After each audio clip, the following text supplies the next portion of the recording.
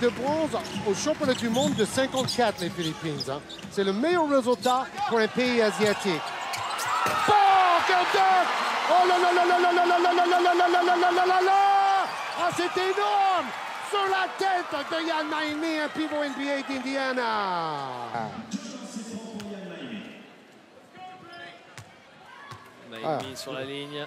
Après le match, je vais aller regarder sur Internet. Il doit y avoir quand même des- euh, Oh!